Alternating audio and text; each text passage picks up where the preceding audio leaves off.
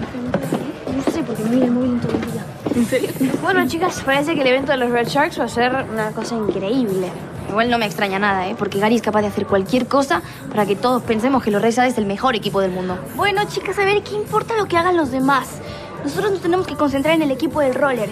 Y ese evento es una gran oportunidad para que podamos hacer contacto con la gente y buscar eventos. Luna, podemos hablar. Necesito que me escuches. La que te escuché fui yo. ¿De qué me estás hablando? De la propuesta que le hiciste a Emilia. ¿No te acuerdas en los lockers ayer?